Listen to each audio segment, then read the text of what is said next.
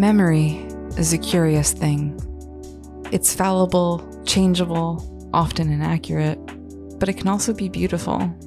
Inevitably, it underwrites our personal identities, bending us into the shape of our pains and our joys. Introduce trauma, however, and your memory, even your sense of self, becomes fragmented, like a shattered mirror. Memory is an overarching theme of this story, Jane's memory in particular.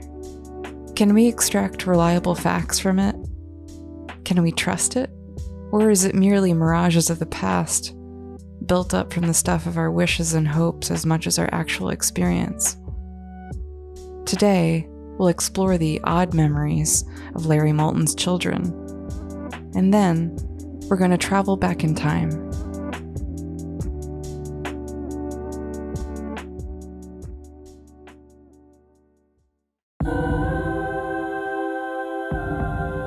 You're listening to Dark Valley, an investigative series from Crawlspace Media and Glassbox Media.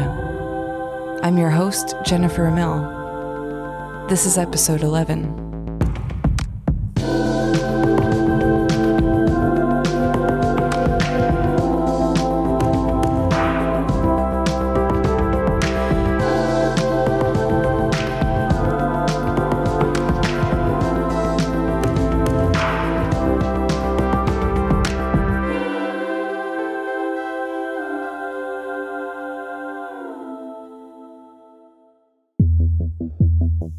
Dark Valley is possible because you listen. Be an advocate for these cases by rating and reviewing Dark Valley. It really does make a difference. Episodes are released weekly, but if you want to binge the whole series, sign up for our subscription show on Apple Podcasts and get exclusive access to bonus content.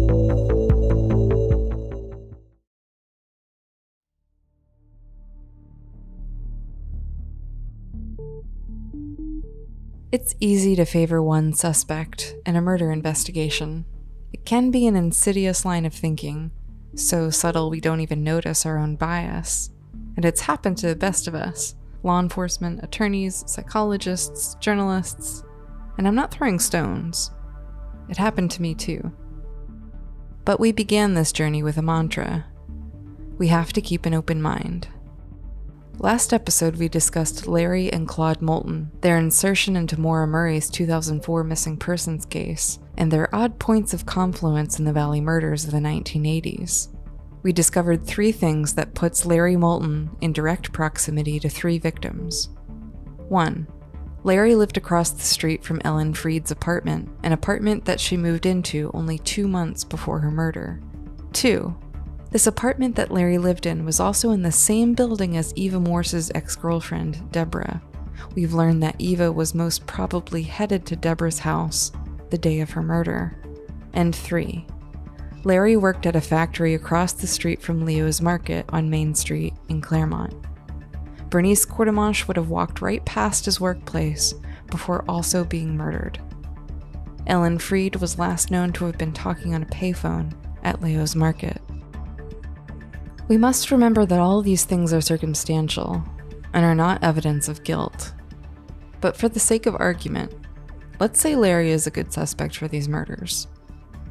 It requires us not only to accept the fact that Larry inserted himself into the Murray case and put the knife in his brother's hand, and that he had opportunities to encounter three victims, but to consider that there is not one Valley killer, but two or more. It requires us to let go of this Hollywood serial killer trope, propagated by the crimes of Ted Bundy and Dennis Rader, the BTK, that they're lone wolf types, leading double lives as family men by day and killers by night. That story is oversimplified and makes it easier for us to see them as exceptional monsters. Here's a pretty surprising statistic. Criminologist Michael Arntfield said in an interview that at least 40% of serial killers work with a partner at some time. 40%. Let that sink in. A partner may not participate in the actual killings, but they might drive getaway cars, help dispose of bodies, or provide false alibis. This concept of duo serial killers is severely understudied. There's one psychologist who's performed some statistical analysis on this dynamic. His dissertation teases apart the key differences in what he calls, quote, solo and team serial killer profiles. Yeah, my name is Dr. Matt Woster. I uh, am a clinical psychologist practicing in the field of forensic psychology out of uh, Akron, Ohio. Yeah, so the uh, title is Differences Between Solo and Team Serial Killers so I, I got a hold of a serial killer database that is actually what it's called. It's called the serial killer database. So what I did was take that data set, I pulled demographic information and then five key variables that I pulled out of some um, you know research and review of profiling. Those five things are number of victims, length of career, method of killing, motive for killing, and relationship to victim. So I essentially took all of that data, split them up into two categories, uh, obviously solo and team killers, and then we used a cluster analysis uh, statistical review to generate uh, what are commonly referred to as typologies or clusters of you know some of these variables that tend to stick together in predictable and noticeable patterns. According to Dr. Woster's findings, solo rather than team killers tend to use more intimate methods of murder such as rope, strangulation, or a knife. Data also suggests that team killers more often murder for financial gain. Think gang murders, or siblings that kill a parent to gain an inheritance, that sort of thing. The primary motive and the most common motive for team killers was actually one of financial gain. Um, so, in those cases, you know, given that the motive is purely financial, those intimate methods are generally thought of as being more personal, more aggressive, and more process focused. So, if my process and the focus of my motive is violence, enjoyment, sadism, things like that, then I am more prone to use those types of methods. Um, and that tends to be a more common MO of uh, a, a solo killer, somebody who's purely killing for enjoyment or you know some of the other um, common motives there. So I think in in that sense, it's probably just a reflection of the statistical differences in motive between team and, and solo killers. In my, I guess, in my opinion, yeah. Taken alone, it seems like the Valley murders are more indicative of a solo rather than a team killer. However, there are definitely documented cases of family members that killed for enjoyment and use intimate methods of murder. Ken Bianchi, for example, he's otherwise known as the Hillside Strangler. He committed rapes and murders with his cousin, Angelo Buono Jr. Both men would sexually abuse their victims and usually strangle them, but sometimes they tried other methods of killing, like poisoning, lethal injection, and electric shock.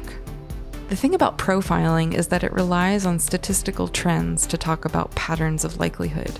Data tells you how things could be. There's no statistic that gives you absolute certainty, especially not about one person or one situation. So the statistics suggest that the Valley murders were perpetrated by one person, but it doesn't preclude other scenarios.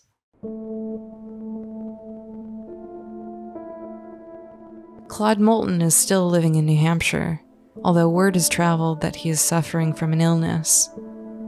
His older brother Larry Moulton passed away on January 4th of 2007, surrounded by family in his Gold Street residence in Claremont. His obituary notes that he, quote, enjoyed his family and loved to fish on warm, sunny days, end quote. That sounds pretty wholesome, However, I'd be remiss if I didn't mention the part of Dr. Philpin's profile of the Valley Killer, suggesting that this person would be an avid fisherman or huntsman. It's a common enough pastime in the Valley. But it also might make one familiar with the tributaries of the Connecticut River and the surrounding forests. All the women who were murdered in the Valley were eventually found in the woods and near bodies of water, with the exception, of course, of Linda Moore, who was killed in her home. I also reached out to Larry's family to learn more about him. I'm withholding names, but I spoke separately first to his son and then to his daughter. When I contacted his son via text, I eventually asked him why he thought his father might have accused his uncle of harming Maura. Larry's son then volunteered a rather cryptic piece of information. I asked my colleague Tim to help me out. What you're about to hear is a dramatization of this brief but confusing conversation. And don't worry, we'll unpack it after.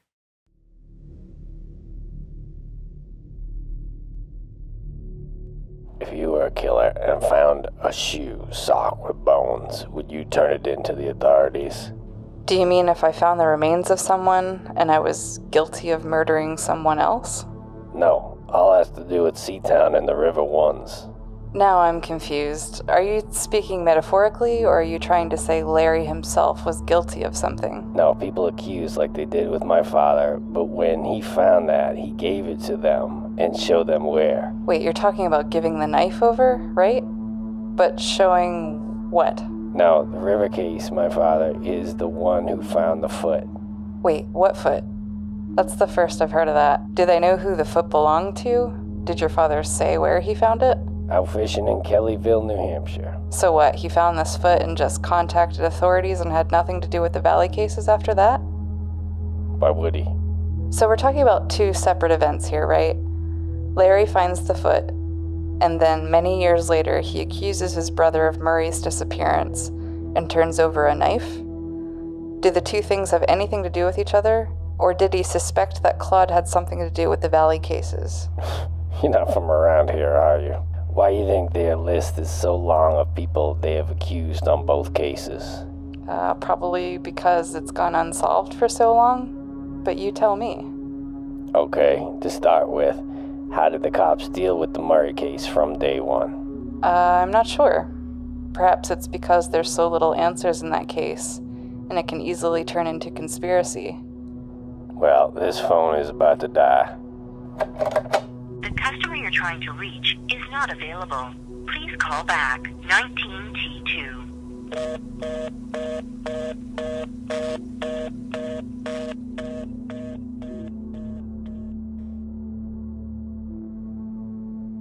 Okay, so what started as a conversation about Maura Murray turned into a bizarre story about Larry Moulton finding a human foot in the Sugar River in Kellyville during the time of the Valley murders. And further, Kellyville is an area between Claremont and Newport, New Hampshire, where the bodies of Ellen Freed and Bernice Courtemanche were found. And as far as I know, none of the victims were missing a foot. Side note, the roads that run north and south of this site are named Blood Road and Cuts Road. You can't write this stuff. I brought this up to several people who were in the area at the time, and none of them remembered a human foot being found.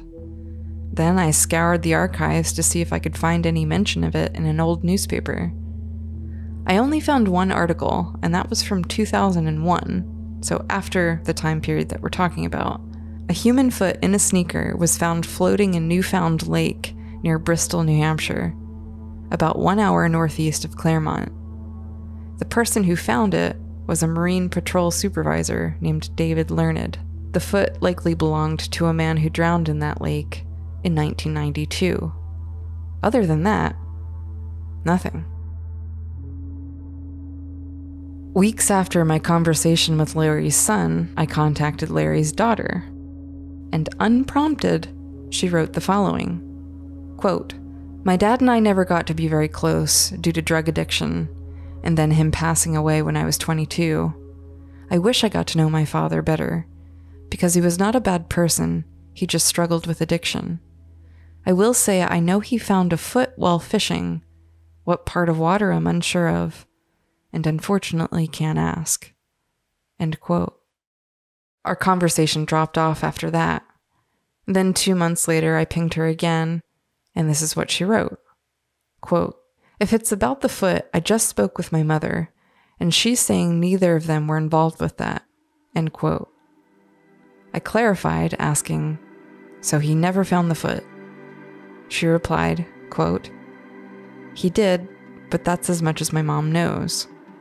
My mom meant if you're trying to figure out who murdered the person whose foot it was, she's certain it wasn't him or his brother. End quote. And that's all she wrote. Literally.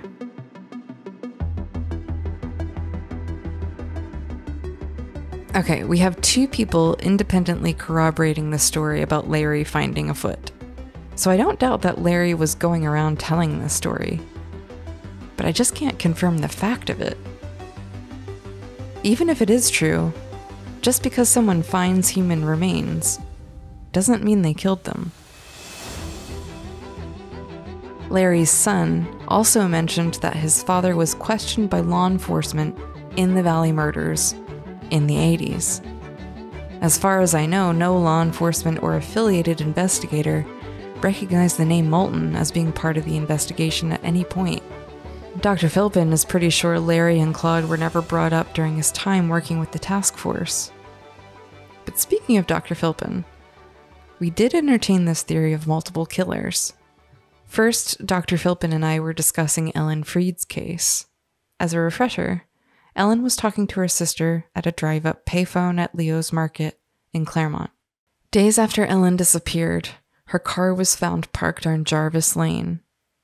And a little over a year after that, her body was found miles away, across town, and near the Sugar River.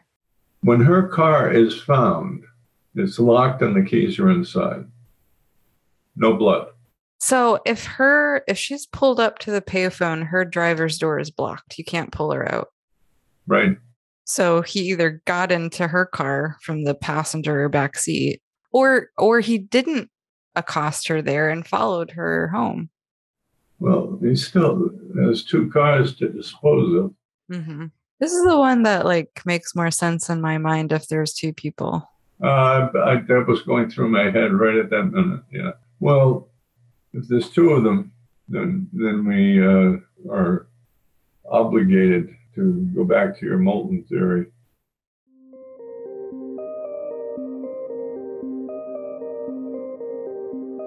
It's not impossible for one person to have abducted Ellen and dumped her car, but it would be logistically more difficult. Bear with me for a minute because the geography of this is very important. Leo's Market is where Ellen encounters the Valley Killer, which is in the center of Claremont on Main Street. Jarvis Lane, where Ellen's car was found, is three miles northwest of Leo's Market. Then Ellen's body is found in the opposite direction, about seven miles east of Leo's Market. So the order of events is hard to guess at. If the killer was in Ellen's car, did he force her to drive to the river where she was later killed? Throw in the fact that where Ellen's body was found is not necessarily where she was killed. But if the killer was in Ellen's car, did he force her to drive to the river? We do speculate that Ellen was alive when she marched across that covered bridge, because it was a little unstable, and to drive a vehicle across it would be a little risky. Then, would he have driven the car to Jarvis Lane to dump it? And either get in his own stashed vehicle or have someone pick him up. What Dr. Philpin and I were discussing is if this scenario makes more sense with two people a tandem driver to either dump the car simultaneous to the murder or to pick up the killer from the dump site. Otherwise, the killer would have had to stash a car, walk a long distance, or call someone from a payphone to be picked up. One other scenario is that the killer hung on to Ellen's car for a day or so and then dumped it. But that seems risky to have the vehicle of a missing person. There's also a few more instances where multiple people are discussed. There is one account from what is believed to be an eyewitness who saw Bernice Courtemanche getting into a white truck with two men. But this has never been substantiated. Additionally, it's been said that there were multiple people involved in the abduction of Barbara Agnew from that rest stop on I 91. If you recall the deathbed confession of Gary Westover, he said he and two other men were responsible for killing a woman that fits the case of Barbara Agnew. What doesn't make a whole lot of sense to me is if it is the same two killers as Ellen, why did they leave Barbara's car behind at the rest stop? Why not drive it elsewhere, like they did with Ellen's? And what about Maura Murray's case? I asked her sister Julie if she thought it would be possible that Larry or Claude could be responsible for some or all of the Valley murders. I think it is possible from based on the data points that I know, based on what we've gathered over the last 19 years. I do think it is possible because I I don't think that Maura's disappearance is just a one-off. It could be. It could be.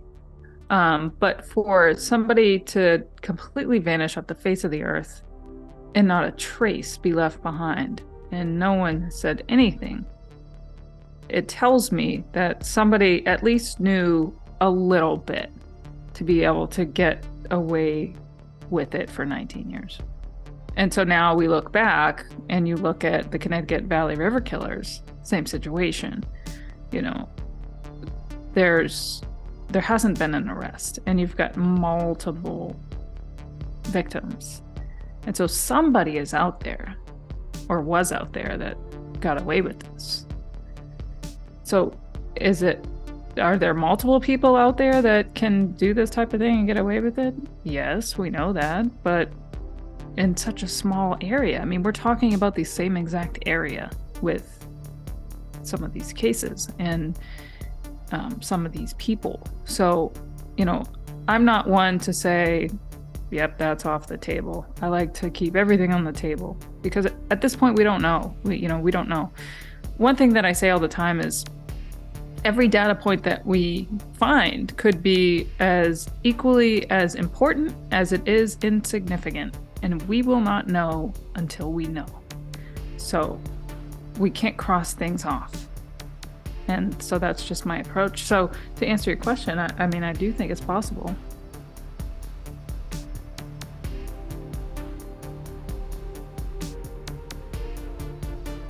I bet you're wondering what Jane thinks about all this. Here she is. Some of the information that you come up with has been so intriguing to me.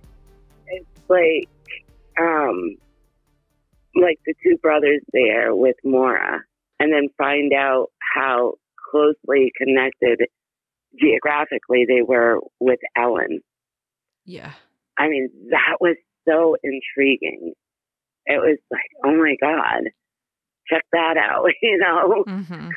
yeah, maybe nothing would ever come about it. It could probably be absolutely nothing. But I don't know, for some reason, I want to say I like hearing this information, but it's just so intriguing to me. They add up, but yet, here I go. no, please, poke holes in it. They have so much history in Claremont that it makes sense that they would be there, there would be so many um, coincidences. I'm going to call it, which I don't believe in coincidences, but I'm going to call it coincidences because they do have so much history in in Claremont. And back then, Claremont wasn't as big as it is today. Right, right. So, you know, I kind of got to think about that too. No, you're you're totally right. If, if that makes sense. If that makes sense. Yeah, I mean, honestly, I've started to think of Claremont as this like like weird like refraction of the universe. because like yes. any name that I search, it's like, oh, they lived here next door to this person that I also know or have read about before. But it's like everybody has the same name. There's yeah. It was a small area. Like most of them were employed in factories. Like it's not. Yeah, because I mean, deal. Claremont built up a lot over the past thirty years. Yeah. Like they didn't have the stores that they had that they have today. You know, it was it was a lot smaller. And I'm sure if you check population back then compared to the population now, I bet there weren't even half the people living in Claremont back in the 80s than there is now. So yeah, I mean, and I don't think there was that many places to work in Claremont back then mm-hmm. because there wasn't it wasn't built up like it is today. And it was a small town. Everybody pretty much knew everybody, especially if you got in a lot of trouble. um, brought attention to yourself. mm-hmm. Yeah. Yeah, I think you're right to point that out, Jane, because sometimes it feels like, oh, there's too many coincidences, but it's still possible they are coincidences. I mean, I still, I still think they're worth looking at. Absolutely. Sure. Um, I wish there was some sort of DNA that could be done with either Eva or or Ellen or or Barbara, you know, or even me. I wish there was some kind of DNA that they could do with them because I do think that they're still worth looking at. I'm, I'm not discarding them at all, especially Larry. Yeah, I think it's important to have a balanced perspective on it.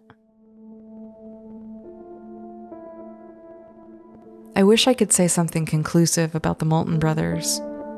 I will say that all the information I've uncovered has been sent to the New Hampshire and Vermont State Police. It's up to them if they choose to investigate further.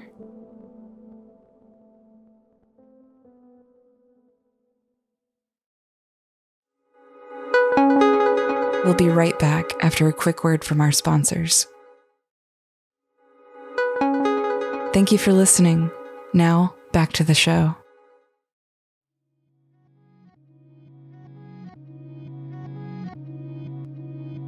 Have to say, I've never spent as much time going over the details of a single story as I have with Jane's attack.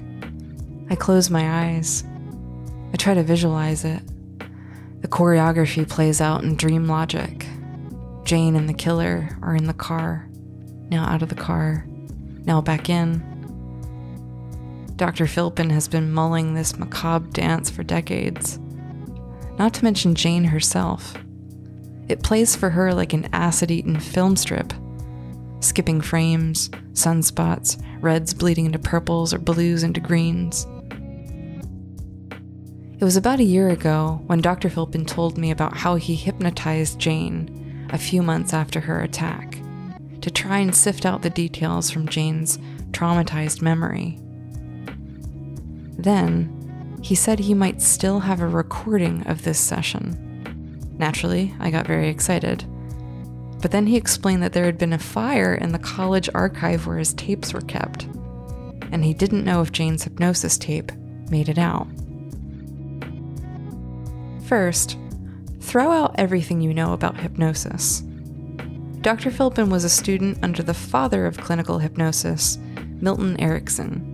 In Erickson's book, Hypnotic Realities, he writes the following quote, Trance is a special state that intensifies the therapeutic relationship and focuses the patient's attention on a few inner realities. Trance does not ensure acceptance of suggestions. End quote. Trance, or hypnosis, is a state we all have and can access. Take, for example, your commute to work each day. Do you remember each stoplight and tree on your route? Clinical hypnosis feels a lot like this. It's not necessarily uncovering an unconscious or buried memory, but merely provides an alternate avenue to access this memory. A psychologist administering this does not suggest memories.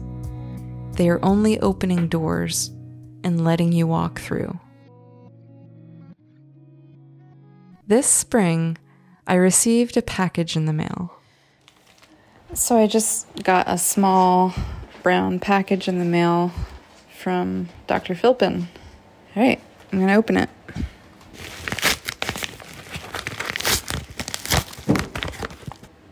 Oh my goodness. So inside are three discs labeled Jane Boroski. I guess I need to go get a DVD player.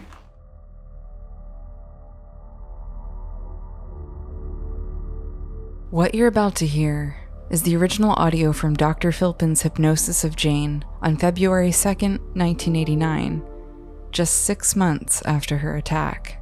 There's also a video element, which obviously you can't see. The camera is pointing down at Jane. Dr. Philpin sits just behind it, at a frame. His voice comes across very clearly, whereas it's a little hard to hear Jane's voice, especially while she's under hypnosis so I'll jump in to clarify when necessary. In the video, Jane is in Dr. Philpin's office in Vermont. Jane sits slouched in a big plaid chair, trying to make herself small, wearing a light blue sweater, her hair nicely feathered, a lit cigarette in her right hand, ashtray off to the side. It's all very 80s, and honestly, kind of eerie.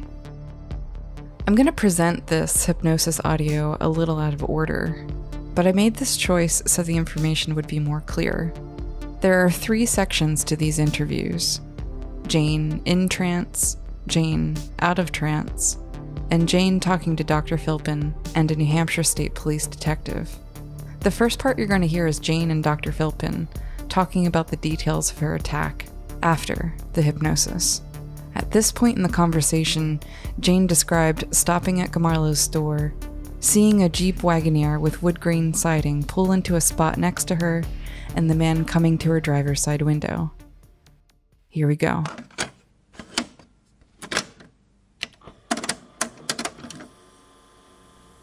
All right. Now, before he he opened the door and came into the car, he he said something to you. Is the phone working tonight? Is the phone working tonight? And when he said that, what did you do? I didn't have a chance to do anything because right after he said that, he opened the door and was in my car. Did you look up when he said? No, not really. Okay. What were you looking at when he said, "Is the phone working tonight"? I guess I was looking down at my soda. You had it in your hand. Yeah, I had it like sitting on the console. Had you opened it? No, Had you turned your car back on yet? no. When he got in and he tried to grab me, I like kind of jumped over on the passenger side and I kept kicking him. Yeah. And when I did, I remember kicking the ignition and I remember kicking the windshield. Windshield cracked. Um, I screamed. You remember screaming? okay. What was he saying during that time? He wanted me to come with him. How did he say it? Come with me. And then right after I screamed, he said, You want to be like that? And that's when he took his knife. Now, during that period of time, and I want to get it, get it as right as I can here, you, you correct me when I'm wrong. He grabbed you by your wrist and he said, Come with me. Yeah. You started screaming, hmm all right, and there already was this struggle going on, and you kicked, and you know you kicked the ignition area, Mhm. you know you kicked the windshield, and then it cracked the windshield. hmm Um, and then he said, You want to be like that. hmm Okay, after, right after I, right before I screamed, I said, Please don't hurt me because I'm pregnant. Did he have any reaction to that statement? No. He didn't say anything. No. Um, did he hesitate? No. Then he screamed, hmm and he said, You want to be like that. And when he said that, then, He took the knife out. okay. And the knife is coming out with his left hand hmm from The back. From the back. Somewhere from the back of the side. Okay. And when the knife came out in his left hand, his right hand is occupied holding your wrist. When he first brought the knife up, started to bring it up, did you see it? Mm-hmm. And the first time you saw it, very first time you saw it, what was it you saw? Just a knife. How much of it did you see? I don't know, probably just the blade. Okay, you saw the blade. So, um, when it came out, uh, it wasn't a case of his having to open it in any way. Not that I noticed. All right. Uh, You got a point there. I never thought of that. Because his right hand was occupied holding my wrist. Yeah. And he pulled that out. Obviously, he didn't open it.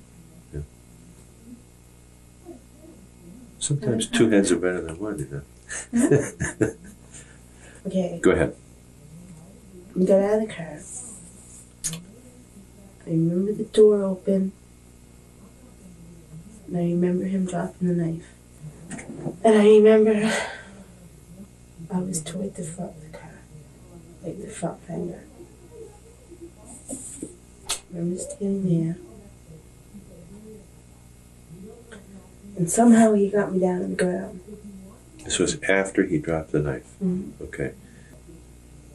From what hand did the knife drop? I assumed. Okay. And where was his right? As I was getting out of the car, he still had his hand on my wrist. His right hand. Mhm. Okay. So it had to drop from the left. Mhm. Okay. All right. And then, however it is you got there, you end up around by the front fender, and this is after he's dropped the knife. Mm-hmm. Okay. He shut the car door. Mhm. Okay. Was he still holding on to you? I don't know. He might have been because somehow he knocked me down to the ground. I don't remember. Okay. But this again is toward the front of the car where he Mhm. knocked you down to the ground. When I was on the ground, my head was right by the front tire. You remember seeing the front tire. Mm-hmm. Okay. What was he saying? He wasn't saying anything. He was just strangling me, choking me. With what hand? Both hands. Both hands Both hands. on your throat. Mm-hmm. And he was not saying anything. Somehow, I need him off me. And he said, wait till I get that knife. Okay. Somehow you need him in such a way that he got off you. Mm-hmm. And he said, wait till I get that knife. Mm-hmm. Then what happened? He went over and got the knife. He walked away from you? Mm-hmm. Two feet away from me. Was he still holding you? He let go of you Mm-hmm. And moved away from you, even if only a couple of feet, Mm-hmm. to get the knife. Yeah. Then what happened? I get up to my feet, and he picked up the knife and he grabbed my wrist. What hand did he grab your wrist with? His left hand on my right hand. My right wrist. Yeah. Like that. Mm-hmm. Okay. And he had the knife And his right hand. in his right hand. Okay. Then what? He started pulling me to the back of the car. Uh-huh. And then I was standing there, and he said, he said, you beat up my girlfriend. And I said, I didn't. And he said, is this a Massachusetts car? And I said, no. So he let go, and he started walking away Which way did he start to walk away? the back of the car. Back toward his car? hmm How far did he get? Just really to the back of it. Of your car? hmm Okay. And I said, What about my windshield? And he just turned around, came back to me, and had me against the car and put the knife up against my neck. All right. And I started running to the road. And I was jumping, like I was doing jumping jacks. I was just jumping and waving my hands and yelling. And the next thing I knew, the vehicles just kept going. And he had me down on the ground again. The next thing I know, he was stabbing me. That's where I was looking most of the time. He was stabbing me, he was down on me, down on myself. Why do you think he stopped when he did? Why do I think he stopped my opinion? Yes. I think he stopped because he was afraid somebody was going to drive by. It was a, a well traveled road. Yeah. And he probably took me for dead. Uh, okay. Why do you think he might have taken you for dead? He stabbed me quite a few times. There was blood everywhere. This is the first time that I've heard Jane's attacker tried to strangle her. That's important when we think of patterns. If it is the Valley Killer, then it seems he has a fixation on women's necks. Should we be looking at strangulation deaths as well? I wonder. But first, there are more details. When Jane was back in her car, behind her attacker's vehicle on the road, she was able to remember some of the characters of the license plate. Here's Dr. Philpin explaining this to Detective Mike LeClaire with the New Hampshire State Police. Now let's see if we can take um, what you've come up with and pick Mike's brain a little bit. Yeah. See if we can't come up with a finished product for this. Okay. Okay.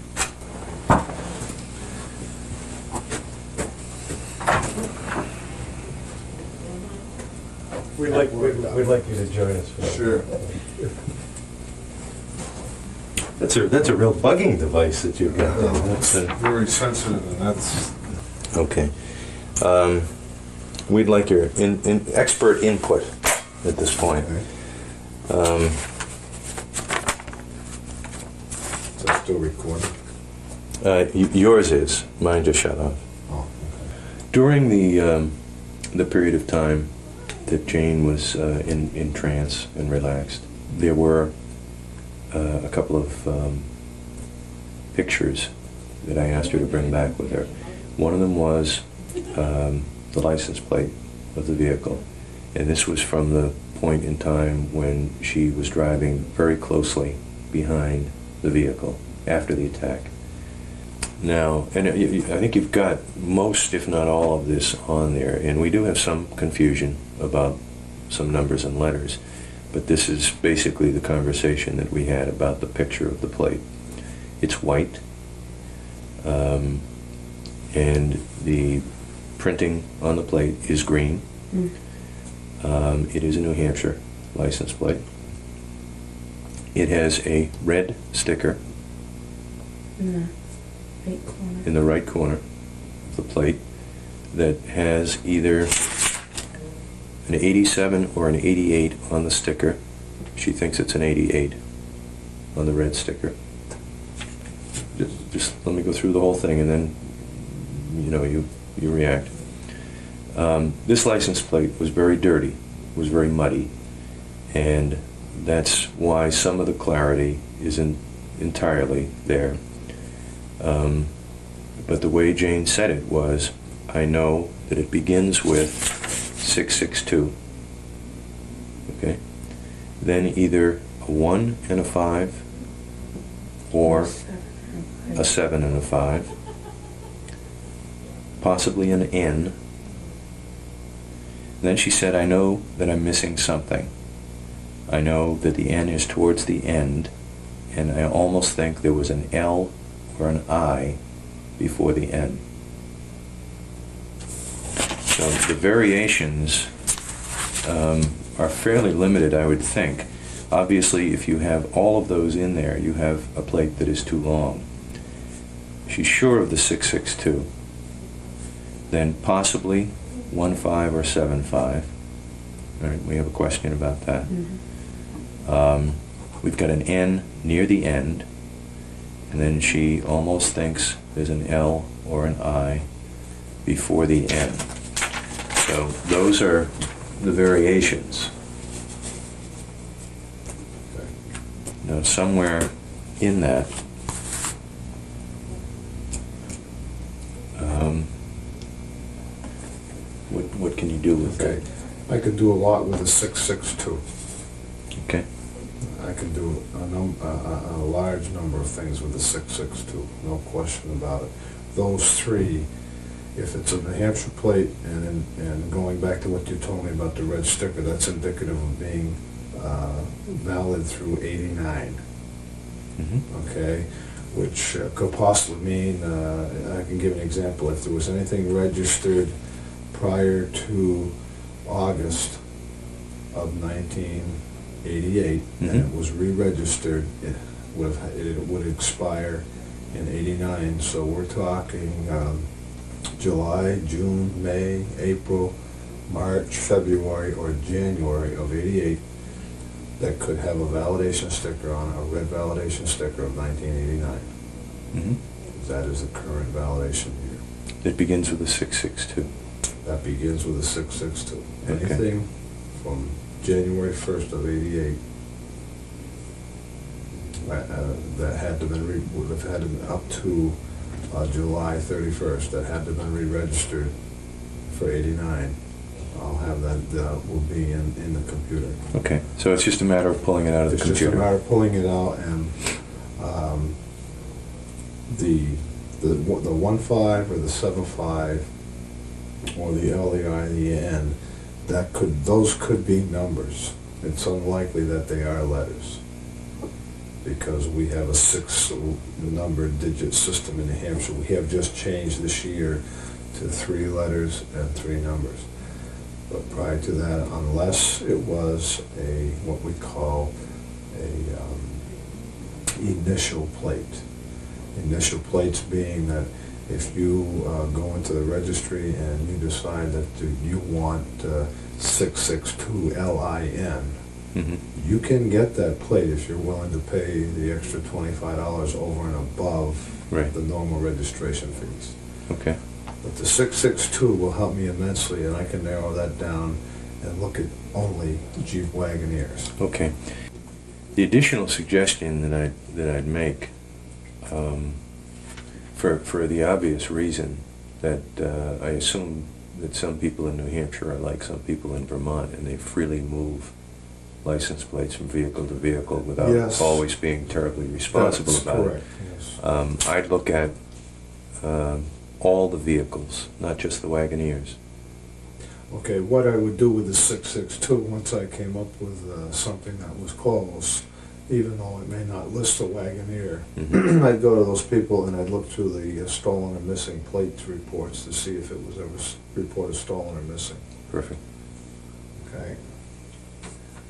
I'll, I'll check all the angles on this. Um, you know, like you say, it could be a, a, what we call a screwdriver transfer. They just take the plates off one vehicle, put it in the other, Mhm. and, and you could return. You know, if it's stolen, and that I'll be able to find that out Mhm. uh, by checking with the owners. I mean, I'll check all the six six twos, and uh, because that six six two can only run from six six two zero zero zero to nine nine nine. So there's less than a thousand. There's less than a thousand, yes. And also, the six six two is uh, to some degree indicative of where the plate was issued. hmm Um, Do you know offhand? no, I don't. Uh, uh, years ago, uh, we used to have uh, what they, we called county plates. If you Florida registered has in a specific county, I could tell you strictly, see, we didn't have the name of the county on the plate, but if you had, uh, like, um, CC sixty-one, I could tell you that that plate was registered in Cheshire County. Mhm. Or if you had an S, S, uh, whatever, I could tell you it was registered in Sullivan County. Mhm. We've gotten away from that, but the six-six-two, only because the plates are, um, given to certain, um, not that they are particularly done that way, but there, a number of plates are, are, are given out to a registry. Mhm.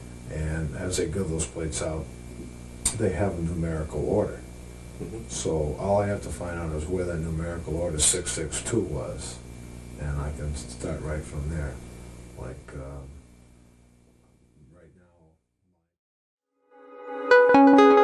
We'll be right back after a quick word from our sponsors. Thank you for listening. Now, back to the show. Now, for the hypnosis. You're going to hear Jane while in a trance. Fair warning parts of this audio are disturbing.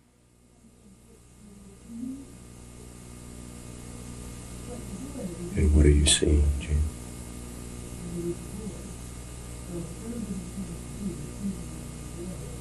Open my car door. You open the car door.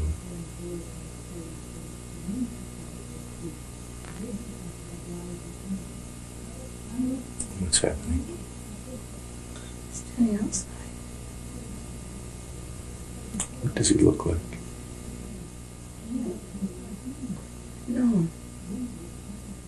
Wait, play that back. No. it. Who is he? Yeah. Does he look like someone you know?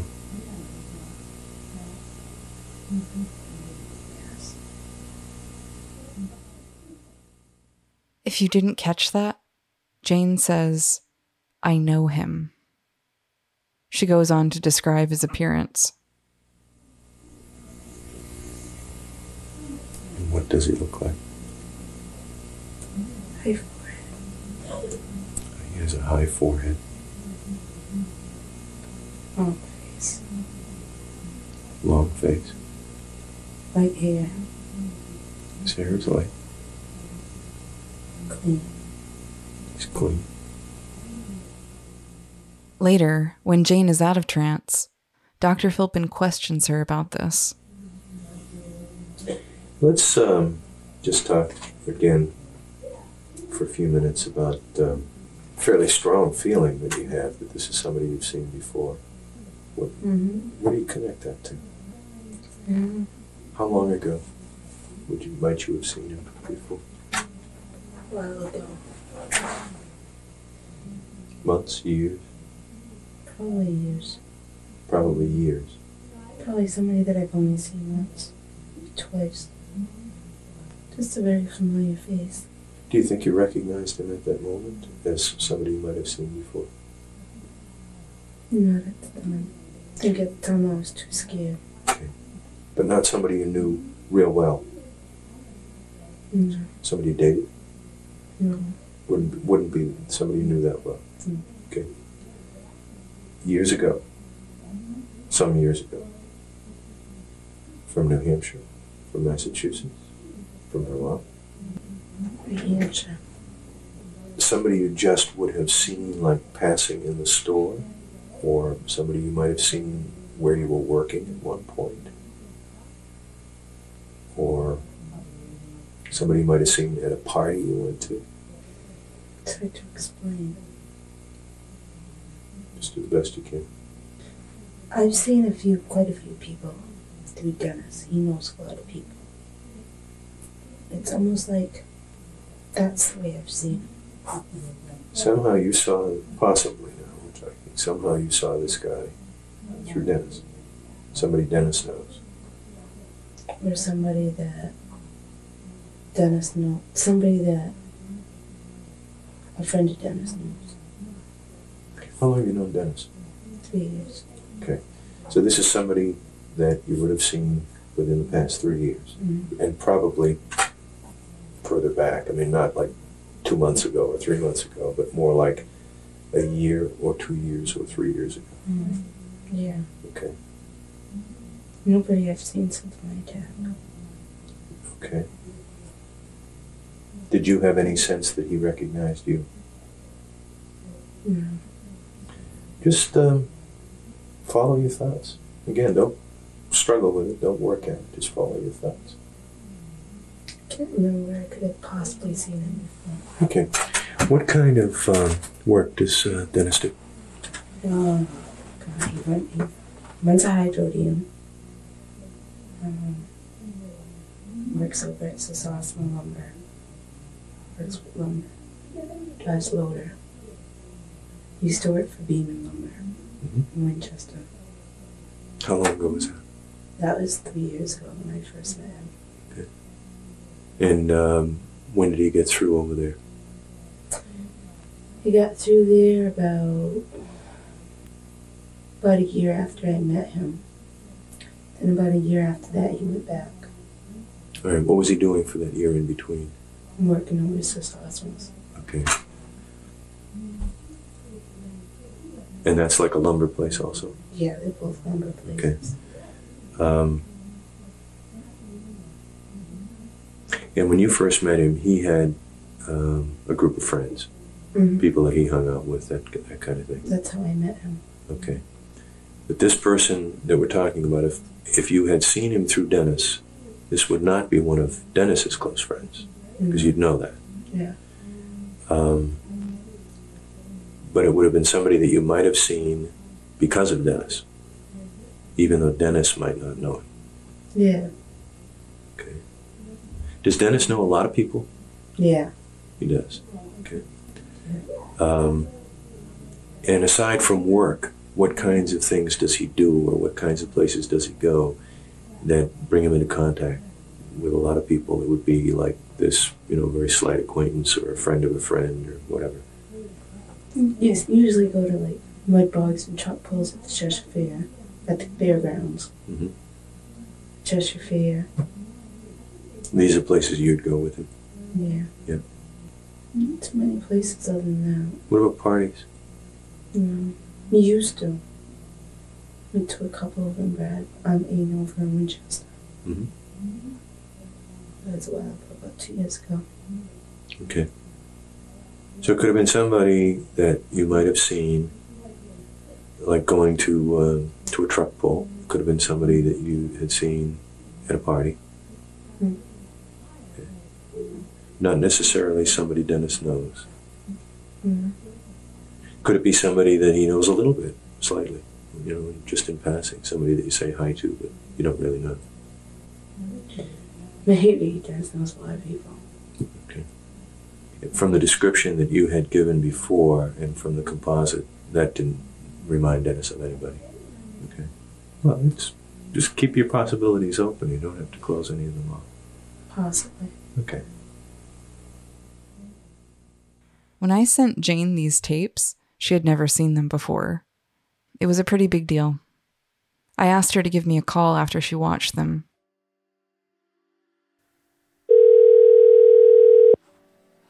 Hi, Jen. How you doing? I'm well. How are you? I'm doing okay. You watched the videos last night? I did. How are you feeling about it? It was, um, wow.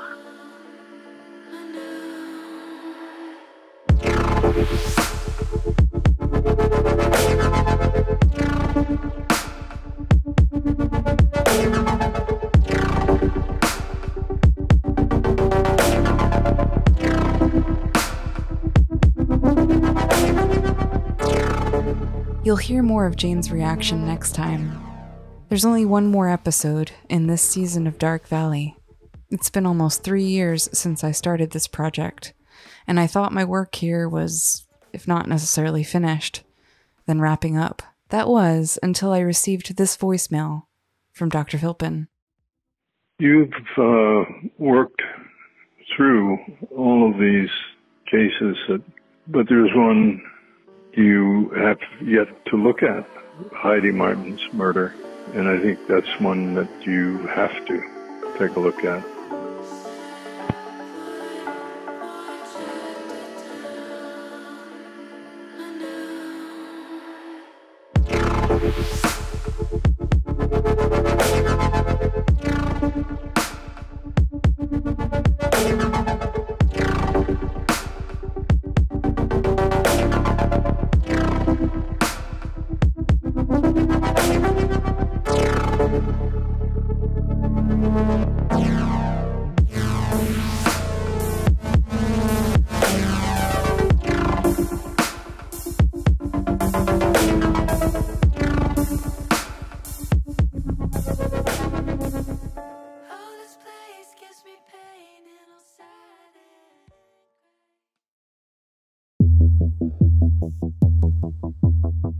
Dark Valley is produced, written, and edited by me, Jennifer Amell. It's also made possible by executive producers with Crawlspace Media, Tim Pilleri, and Lance Reenstierna. Follow us on social at Dark Valley Show.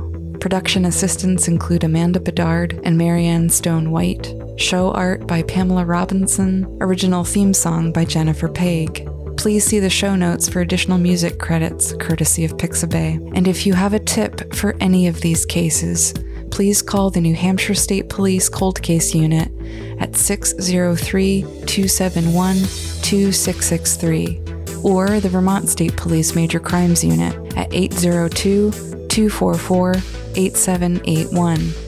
Or you can write to us at darkvalleyshow at gmail.com. Until next time.